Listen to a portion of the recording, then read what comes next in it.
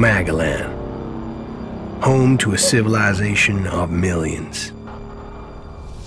Until the comet hit. Earthquakes shattered its cities. Firestorms swept the planet.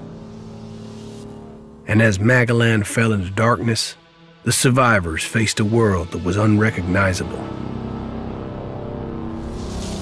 Fighting amongst the ruins of the old world, new factions arose.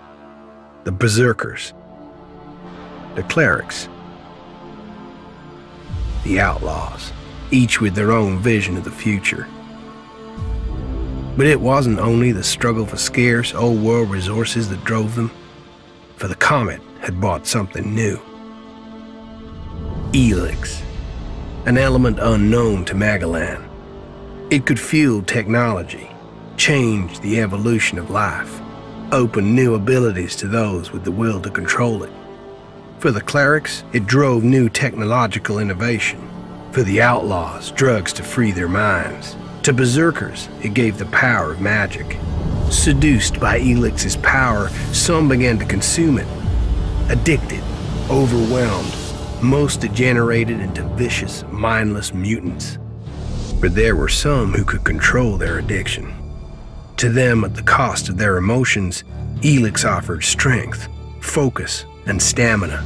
These people called themselves the Albs. Seemingly unstoppable, the Albs have waged war on all who will stand between them and their need to obtain Elex advancing from the frozen wastes of Xacor and their fortress Ice Palace, the Albs threatened the future of all the factions on Magalan. Now, as Alb forces prepare their final assault, Jax, renowned Alb commander, is sent on a solo mission. One Alb, selected to change the fate of Magalan.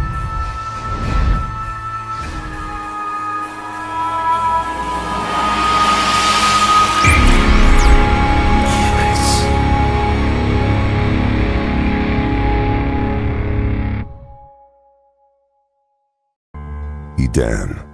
My home. The only home I know. Many years have passed since we found our dwelling at the foot of this mountain. In the ruins of the old world, we found shelter. And the future where our kind could flourish. It is thanks to the courage and strength of our warriors that our city can still defy the enemy. Only the bravest and strongest berserkers will survive the war against the machine. Through mana, we will grow stronger and more powerful than any machine the Albs can use against us. But not only does it give us strength, it turns barren stony soil into fertile earth, letting the world blossom again. We are the brotherhood of warriors and magic. We are the Berserkers.